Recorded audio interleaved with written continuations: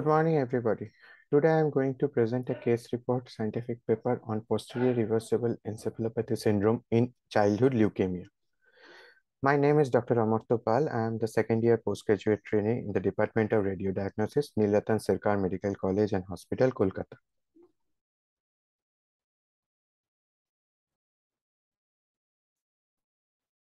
So Posterior reversible encephalopathy syndrome, that is PRES, is a clinical radiological syndrome characterized by headache, seizures, altered mental status, and visual loss, and featured by white matter vasogenic edema affecting the posterior occipital and parietal lobes of the brain predominantly. PRES was first described in 1996 by Hinchey et al. It is commonly, but not always, associated with acute hypertension. The clinical syndrome is being increasingly recognized commonly because of improvement and availability of brain imaging. Associated conditions with PRES are hypertension, preeclampsia or eclampsia, exposure to immunosuppressive drugs, chemotherapy, renal failure, infection or sepsis or shock, and autoimmune diseases like acute glomerulonephritis and lupus nephropathy. In this case, we have present a case of a precursor B-cell acute lymphoblastic leukemia patient with sudden onset neurological symptoms who was walked up using clinical findings, blood parameters, and MRI findings. MRI was done using a GE Signa HD 1.5 Tesla MRI scanner. Imaging features of posterior reversible encephalopathy syndrome were found. Now coming to the clinical history, he is a five-year-old boy admitted in the hematology department suddenly who suddenly developed hypertension, altered sensorium, visual disturbances, and seizures five days after starting off chemotherapy regimen for pre-B-cell ALL. His diagnosis of pre-B-cell ALL was done by peripheral blood smear, bone marrow examination, and immunohistochemistry. He had been started on a regimen with of daily 6 mercaptopurine and weekly tablet methotrexate along with IV vincristine and a steroid dexamethasone. Intrathecal methotrexate was also given to the patient. After the onset of the symptoms, blood parameters revealed an elevated CRP along with a very low platelet. Other hematological and blood biochemistry were in line with his disease condition. He was promptly started on antiepileptics and antihypertensive and an MRI brain was done. The MRI revealed features suggestive of posterior reversible encephalopathy syndrome. Thus, we came to a clinical radiological diagnosis of PRES. Slowly, a progressive movement of clinical symptoms, neurological symptoms, and cognitive status was observed along with treatment. His chemotherapeutic regimen was restarted one month later.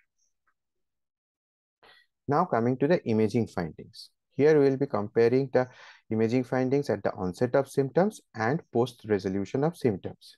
At the onset of symptoms, axial brain MR imaging showed cortical and subcortical hyperintensities due to vasogenic edema on T2 FRFSE weighted images. Whereas post-resolution of symptoms, axial brain MR imaging showed absence of hyperintensities due to near resolution of the vasogenic edema. Similar findings were found in T2 FLAIR weighted images in which at the onset of symptoms there were cortical and subcortical hyperintensities which had resolved post-resolution of symptoms. Now coming to T2 GRE sequences that were taken during the scan. In the T2 GRE sequence at the onset of symptoms, axial brain MR imaging showed areas of focal patchy hemorrhages involving bilateral parietal and occipital lobes and right temporal lobe appearing as blooming artifact on T2 GRE sequence. Whereas on post-resolution of symptoms, his brain, the MRI showed resolution of the focal hemorrhages that were seen earlier. And lastly, we come to DWI images. In DWI images, as we can see clearly over here at the onset of symptoms, there is a area of hyperintensity, which is actually the T2 shine through that is noted over here and which has resolved post resolution of symptoms. Now coming to the discussion part. Posterior reversible encephalopathy syndrome, that is PRES, was first described by Hinchey et al. in 1996.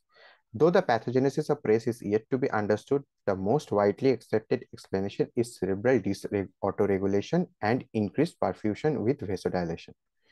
There is a greater predisposition for the regions of the posterior circulation of the brain likely due to relatively lesser sympathetic innervation than anterior circulation. Axial MR imaging showed reversible vasogenic edema in the cortical and subcortical white matter of the parieto-occipital region in the most patients. In addition to a predominance for the parieto-occipital region, involvement of the frontal lobe, the posterior portion of the superior frontal gyrus, and the temporal lobe can also be seen. Cerebellum, brainstem, and thalamus are generally spared. PRES can be complicated by the presence of hemorrhage as seen in our case, which demonstrated as focal patchy hemorrhages. This was in accordance with a study conducted by McKinney et al. 2007. On DWI weighted images, though the most common finding is ISO intensity, but DWI bright T2 shine through as seen in our case can also be found. Diffusion restriction, which is usually punctate, surrounded by much larger areas of vasogenic edema with no ensuing atrophy can also be found. This is in accordance to the studies conducted by Benziada-Boudour et al., McKinney et al., and Covarrubias et al. Apart from MRI, the other modalities of imaging that can be done in case of PRES is this. In case of CT, the affected regions are generally hypoattenuating. And in angiography, there are signs of vasopressin or arteritis like diffuse vasoconstriction, focal vasoconstriction, or vasodilatation, or a string of bead appearance. Now, the major differentials for posterior reversible encephalopathy syndrome are posterior circulation ischemia infarction, progressive multifocal leukoencephalopathy, that is PML, vasculitis, encephalitis, and sinovenous thrombosis. Thus, to conclude, PRES is a neurotoxic state coupled with an unique MR imaging appearance. Hypertension is believed to be the unifying precipitating factor in many cases, but may, it may occur also in normotensives. Corticosteroid therapy, primarily mediated by its effect on the mineralocorticoid receptor, may lead to hypertension, which may be the etiology of PRES in this patient. But the implication of other cytotoxic drugs cannot be excluded. Hence, all patients on steroids should have strict blood pressure monitoring. And given the widespread use of steroids in the field of hemato-oncology, it is important to recognize PRES as a rare but usually reversible complication, especially in pediatric patients receiving treatment for acute lymphoblastic leukemia and appropriate treatment should be initiated accordingly after ruling out other causes which could result in a similar clinical presentation like CNS hemorrhage, CNS leukemic infiltration, and encephalitis. These are the references that I have used in my studies. Thank you for hearing me. Goodbye.